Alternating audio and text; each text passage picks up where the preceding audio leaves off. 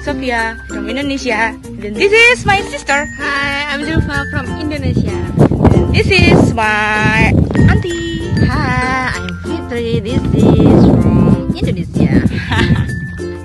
Orang-orang sekarang tuh suka update entah itu kegiatan sehari-hari ataupun yang lagi ngetrend di Indonesia.